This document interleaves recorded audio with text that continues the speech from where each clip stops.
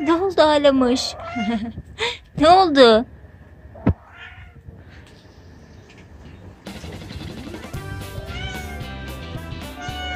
Bugün 27 Nisan Cumartesi hafta sonu. Umarım hafta sonunuz güzel geçer arkadaşlar. Kedilere mama vermiştim. Gofret de dışarı çıkmak istedi. Onu da dışarıya çıkarttım. Bugün güzel bir hava var ama birazcık böyle rüzgarlı bugün. Yarın da yağmurlu gösteriyor. Yağmur yağabilir. Yağmurlu gösteriyordu çünkü. Gofret de biraz hava alsın dedim dışarı çıkardım ama bugün bayağı rüzgar var. Görüyorsunuz zaten arkadaşlar. Her yer yemyeşil oldu. Bu arada.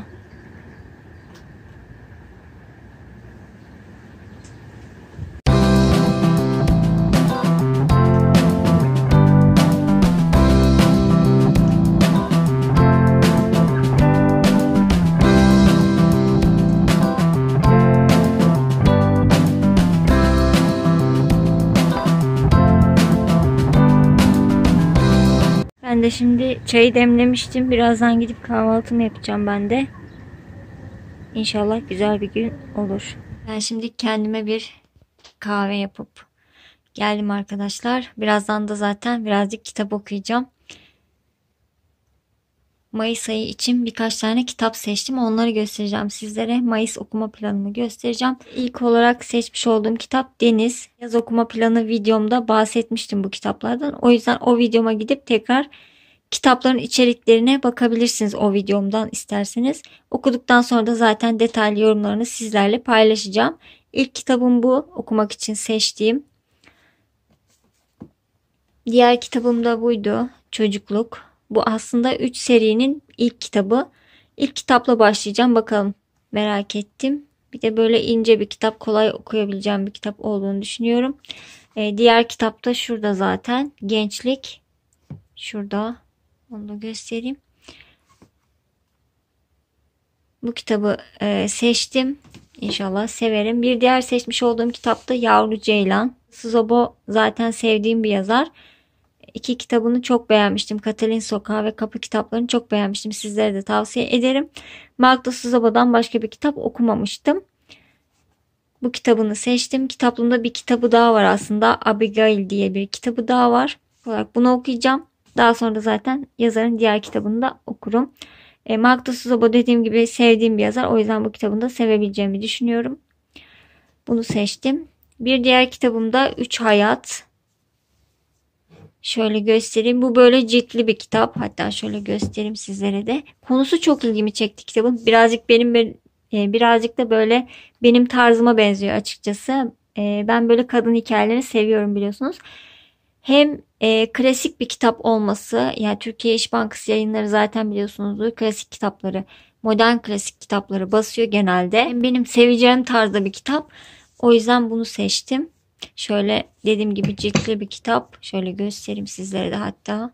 Şöyle kapaklı ciltli bir kitap ve e, sayfaları da böyle yağlı kağıttan. Yani şu, şu, şu şekilde diğer kitaplar gibi değil de böyle e, ciltli kitaplar olur ya hani ansiklopedi tarzında o, o türde e, sayfaları var.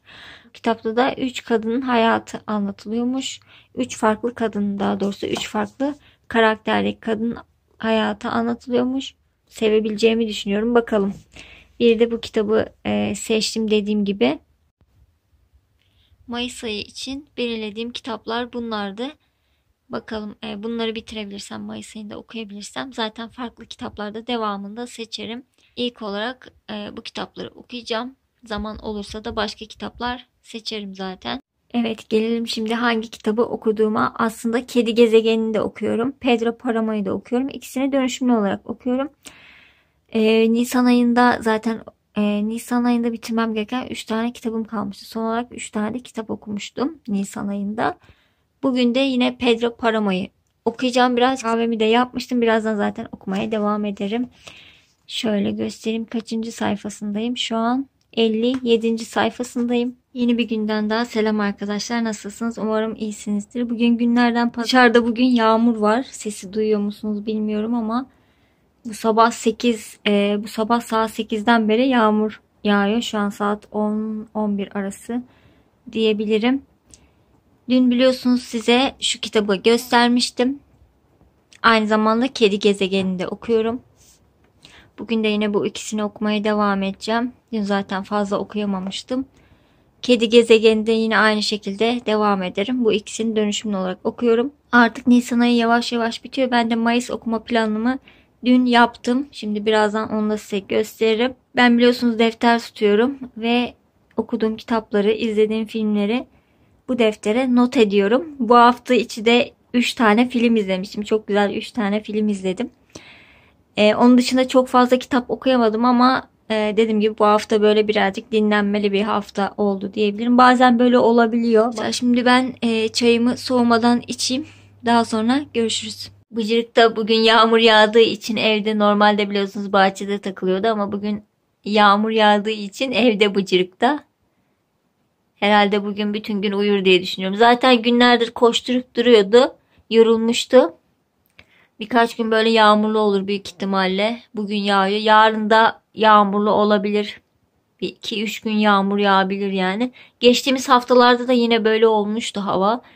Sonra birden açtı işte her yer yemyeşil oldu falan. Mayıs ayına böyle yağmurlu gi- giriyoruz. İnşallah bereketli bir ay olur diyorum. Mayıs ayı yağmurla birlikte girdiğimiz için biraz e, böyle düşünüyorum ben. Bereketli bir ay olacağını düşünüyorum. İnşallah öyle olur. Evet görüyorsunuz arkadaşlar nasıl yağıyor. Sabah daha çok yağıyordu. Şimdi birazcık daha dindi ama gökte gürlüyordu yani sabah. Bayağı bir yağıyordu. Şimdi devam ediyor zaten yağmaya.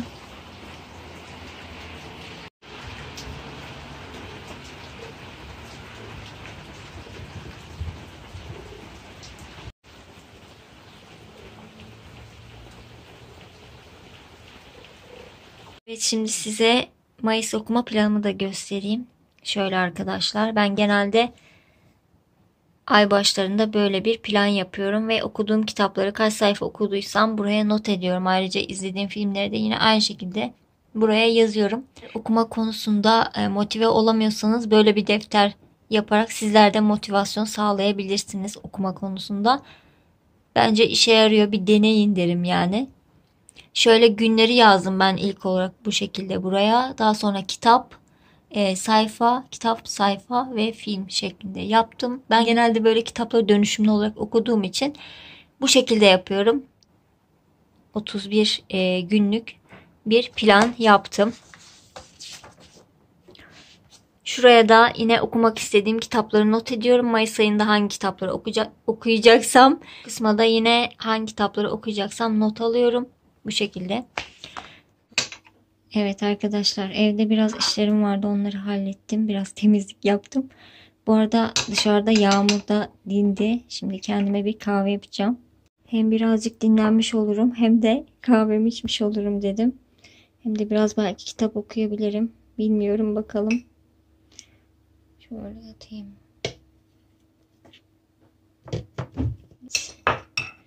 Dışarıda yağmur dindi ama hava yine de biraz soğuk. Arada yağıyor zaten.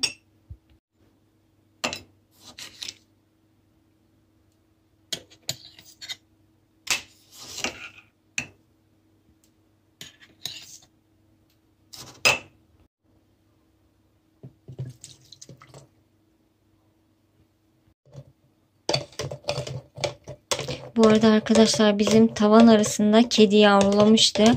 Bugün onları aşağıya taşımış. Bizim bahçeye taşımış yani. Bir tanesi de yere düşmüştü. Bayağı bir bağırıyordu. Gözleri kapalıydı. Babam sonra gitti gözlerini açtı yavru kedinin. Ee, bizim böyle boş bir şey var. Hmm, bahçede böyle boş bir alan var. Oraya babam onları kutuya koydu. Yavrular bir sürü. Üç tane mi dört tane mi ne galiba. Bir tanesi böyle siyahtı simsiyahtı. Gözleri beyazlıydı. Çok tatlılar ama. Yanına da birkaç tane şöyle çikolata koydum arkadaşlar. Geçen gün takipçimin gönderdiği çikolatalardan.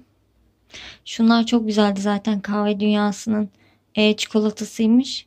Bunlar da öyleydi ama şunlar çok güzelmiş gerçekten fındıklı olan. Tadı bayağı iyiydi. Başlıyorum. Kaynamaya başlar birazdan. Düğmesine basmıştım. Şurada düğmesi var. Düğmesine basmıştım. Ve kaynamaya başlar. Ses geliyor zaten.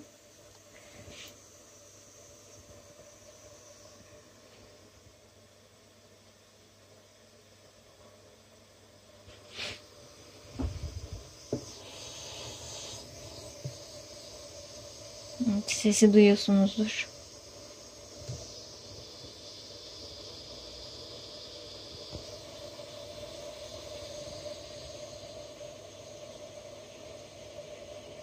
Duman da çıkmaya başladı.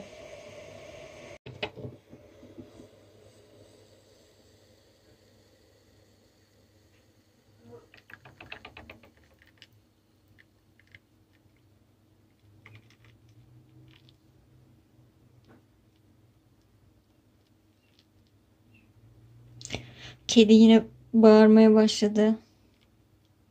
Yan taraftan. Bir ara tavanda bağırıyorlardı. Şimdi yan tarafta bağırıyorlar. Evet. Kahvem hazır arkadaşlar. En son iki tane kitabı dönüşümlü okuyordum biliyorsunuz arkadaşlar. Bir tanesi Kedi Gezegeni'ydi. Kedi Gezegeni'nden de bir 50 sayfa okumuştum sanırım. 50. sayfalardayım. Bir de e, Pedro Paramo'yu okuyorum ünlü olarak. Bu ay bakalım bitirebilirsem yorumlarını sizlerle paylaşacağım zaten. Bir de benim yaz okuma planı videom vardı biliyorsunuz. Eğer onu izlemediyseniz videomu da bakabilirsiniz. 4 ay için e, bir okuma planı yaptım. Yaz okuma planı videomda bu kitapları sizler, sizlerle paylaşmıştım. Ayın başında yine böyle tabii ki paylaşacağım okuma planlarımı ama e, dediğim gibi o videoyu izlemediyseniz o videoya da bakabilirsiniz. Şimdi akşam yemekleri yemiştik. Saat 6'ya geliyor. Yavaş yavaş da akşam oluyor arkadaşlar. Bu videonun kapanışını da burada yapalım. Videomu buraya kadar izlediğiniz için çok teşekkür ederim.